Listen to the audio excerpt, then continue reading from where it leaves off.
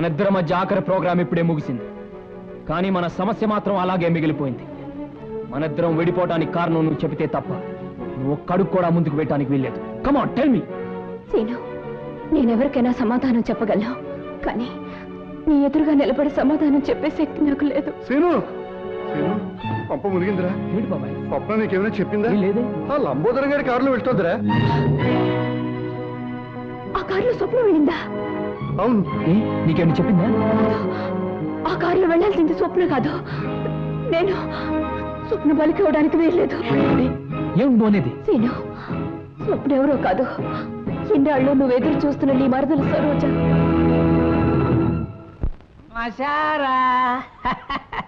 Already సరుగు ready. మాట మీద నిలబడే మనిషి అండి. అన్న మాట ప్రకారం వచ్చి కారెక్కింది. వర్ణ పొలాన్ని తీసుకొచ్చేసాను అంతే.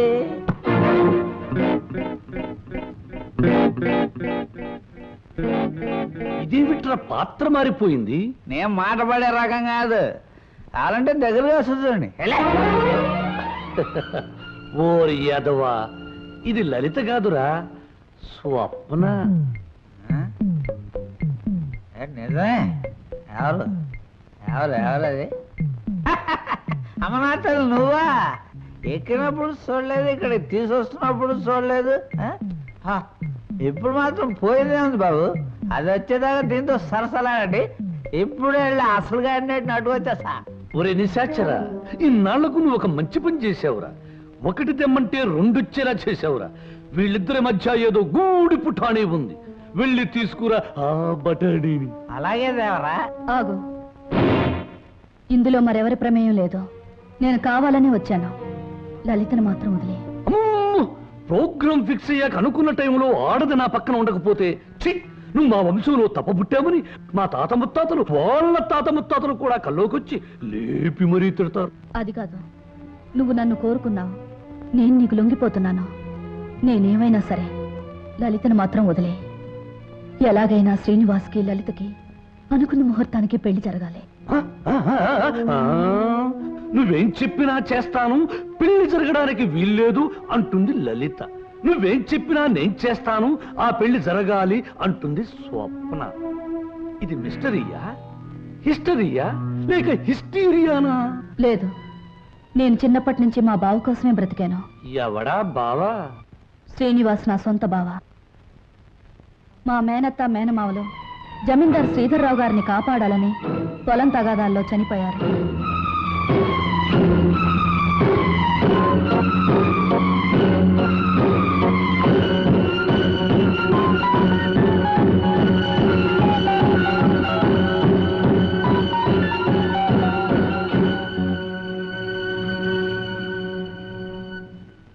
సరోజ.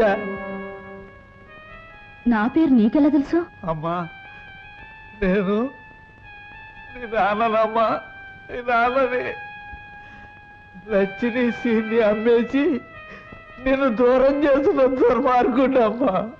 దుర్మార్గుండి బాబు బాబు మీకు దండం పెడతాను. మీ కాళ్ళు అట్టుకుంటాను అది నా కన్న కూతురు బాబు. దాన్ని ఏం చేయకండి? వదిలేయండి బాబు? వదిలేయండి. భలే చెప్తున్నావురా. అసలు నువ్వు నా దగ్గర తీసుకొచ్చే ఆడపిల్లలందరూ ఇటుక బిడ్డలు కాదురా. ఎవరో ఒకరు కన్న బిడ్డలే. అసలు ప్రాంతీసారా ఎందుకు కనిపెట్టారో తెలుసా? ఇలాంటి పరిస్థితుల్లో ఉపశాంతి కలుగజేయడానికి. ఈ సమాజంలో సెంటిమెంట్ విలువ కేవలం ఒక పెగ్గు ప్రాంతి బాగా నీ బాధలన్నీ అవును నాన్న. ఎందుకు అనవసరంగా బాధపడతా ఆత్మీయత అనురాగం ఏనాడో వదిలేసి నీ ప్రపంచంలో హాయిగా బ్రతుకుతున్న మనిషివి నువ్వు. మళ్ళీ అవి గుర్తు చేసుకోకో. మత్తు దిగిపోతే ఈ సంఘటన చాలా భయంకరంగా కనబడుతుంది. పుట్టగానే తల్లిదండ్రులు బిడ్డను ఉయ్యాల్లో వేస్తారా? ఊహ తెలిసాక విద్యాబుద్ధులు చెప్పిస్తారా? వయసు వచ్చాక పెళ్ళి చేసి అత్తవారింటికి పంపిస్తారు? కానీ నువ్వు ఇవేమీ చేయకపోయినా ఈ రోజు నలుగురు నీ కూతుర్ని అనుభవించడానికి ఒక వ్యభిచారణ కావడానికి పంపిస్తున్నావు నాన్న. నువ్వు నేను తండ్రి కూతుళ్ళు అని ఈ నిజం ఈ నాలుగు గోడల మధ్య చచ్చిపోని. నిజం ప్రపంచానికి తెలిస్తే బంధాలకు అనుబంధాలకు మమకారాలకి మనుగడకి సంస్కారానికి సభ్యతకి విలువే ఉండదు. నీ చేతులతో ఎంతో మంది ఆడపిల్లల్ని నీ గడప దాటించావు నన్ను వాళ్ళల్లో ఒకళ్ళనుకుని నవ్వే ఏ బాధ ఉండదు. వద్దమ్మా ఏ తండ్రికి ఇట్లాంటి తెచ్చొద్దు ఎప్పటికైనా నేను తండ్రిగా ప్రవర్తించబోతే నేను చేసిన పాపాలకి ఆ దేవుడు కూడా క్షమించడమ్మా. అసలు ఈ ప్రపంచంలో తండ్రి అనే పదానికి అర్థమే ఉండదు. ఉందిరా. ప్రతి మాటకు అర్థం ఉంది. అర్థం వెనుక అనర్థం ఉంది అనర్థం వెనుక వ్యర్థం ఉంది. నాలాంటి వాడి ప్రతి మాటకు ప్రతి పదార్థం ఉంది. ఎవరిన్ని గింతినా ఎవరిన్ని రంకెలు వేసినా శీలమని కొందరేడ్చినా నా మాటలు అశ్లీలమని విమర్శించినా అన్ని రకాల పిట్టలు రెక్కలు టపటపా కొట్టుకుని ఆ పిట్ట కోసం ఈ పిట్ట ఈ పిట్ట కోసం ఆ పిట్ట రెండు రకాల పిట్టలు నా గూటికే చేరాయి. మేమే చిరంజీవులం మా మాటే చిరంజీవి మా బాటే చిరంజీవి. రావే జై నా బిడ్డ ఒంటి మీద చెయ్య చంపేస్తాను. పదమ్మా. ఏయ్, వదలరా, వదిలు. అరే, అమ్మా. రేయ్,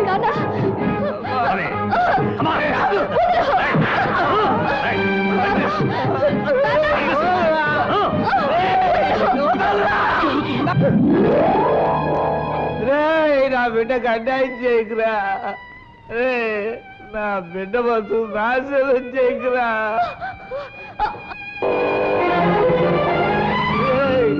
నా బిడ్డ కడ్డాయి చేయకండిరా. నా బిడ్డ కడ్డాయి చేయకండి. బాబు బాబు నా బిడ్డకు అన్యాయం జరిగిపోతుంది రక్షించు బాబు. మామయ్య బాబు సీను నన్ను క్షమించమని అడగరా నా బిడ్డను రక్షించరా. సరోజ్ ఎక్కడ మావయ్య? చెప్పు.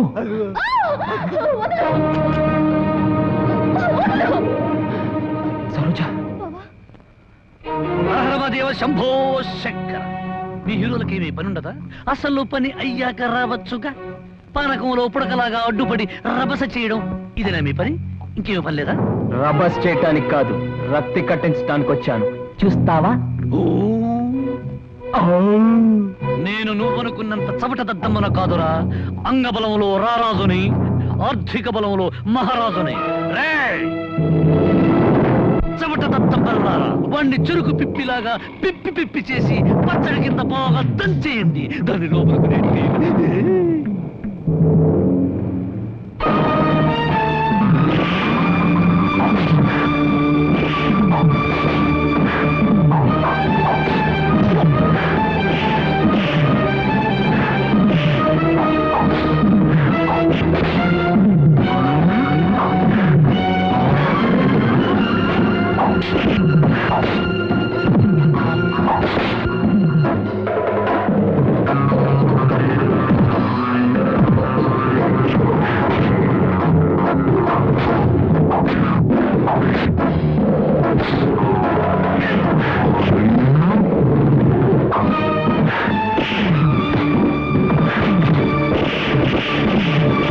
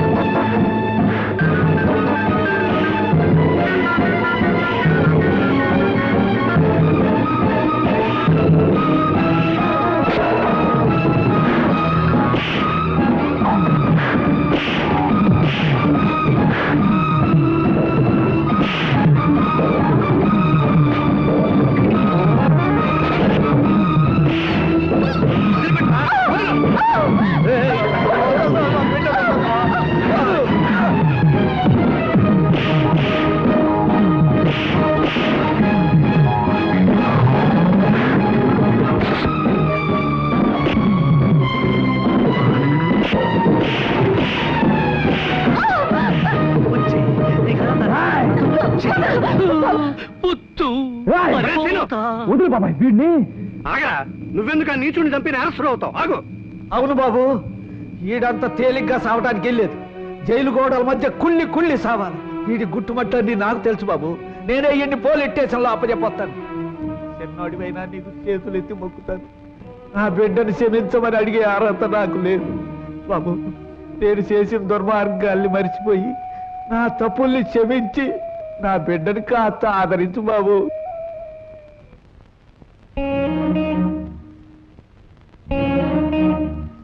సరోజ నా మాట వినకుండా మొండితనంగా వెళ్ళిపోవడం ఏం బాగోలేదు. ప్లీజ్ నా మాట విను. ఆగిపో. బావా తప్పు. బాటసారికి కొంతసేపే ఆశ్రయం ఇవ్వాలి గాని ఆగిపోమ్మని చెప్పకూడదు.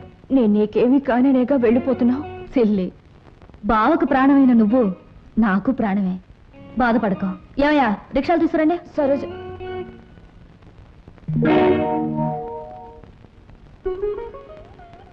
అంకుల్. చీ ఏమిటి మీ కళ్ళల్లో కన్నీళ్ళా? No no no no. అవన్నీ నాకే సొంతం. ఇంకొకరి కళ్ళల్లో చూడడం నాకు ఇష్టం ఉండదు. స్వప్న నువ్వు అందరికీ సమాధానం చెప్పావు. నాకు కూడా సమాధానం చెప్పాళ్ళమ్మా. నువ్వు ఇంటికి వచ్చినప్పటి నుంచి నేను అభిమానించాను. నువ్వెవరువో తెలిసిన క్షణం నుంచి నీ బాధను నేను కూడా పంచుకున్నాను. నువ్వు కోరుకున్న దక్కలేదని తెలిసిన మరుక్షణం నిన్న సొంత బిడ్డలా చూసుకున్నానమ్మా. అంకుల్? ఒక్కటి చెప్పమ్మా. ఈ ఇంట్లో మాతోనే ఉండి బిడ్డలు లేని మాకు ఓ బిడ్డ అవుతావా? మమ్మల్ని కాదని దూరంగా వెళ్ళిపోయి ఈ ముసలి వాళ్ళ కళ్ళల్లో కన్నీళ్ళుగా మిగులుతావా. చెప్పమ్మా. అంకుల్. నువ్వెక్కాల్సిన ప్రతి ట్రైను మిస్ అయ్యి అందరికీ దూరం అయ్యావు. మా అందరికీ దగ్గర అవడానికైనా ఈసారి నువ్వు ట్రైన్ మిస్ అవ్వాలమ్మా. మా కోసం అంకుల్ ఉంటాను అంకుల్. ఉంటాను మీ దగ్గర ఉంటాను. పంతొమ్మిది వందల యాభై తొమ్మిదిలో నలుగురు హీరోలు ముగ్గురు హీరోయిన్లు కలిసి నటించిన చిత్రంలో రెండు ఇంటర్వెల్లో మూడు శుభాలు పడ్డాయి. ఆ చిత్రం పేరేమిటి? ఆ హీరోలు ఎవరు? హీరోయిన్స్ ఎవరు? మూడు శుభాలు వేసిన నిర్మాత ఎవరు? ఆయన ఎవరో నాకు తెలియదు కానీ నేను మాత్రం కింద జన్మలో నీ పెళ్ళాన్ని నువ్వు మొగుడే ఉంటావు. అప్పుడు నేను ఏడిపించాను ఇప్పుడు మాత్రం నన్ను నవ్విస్తున్నావు.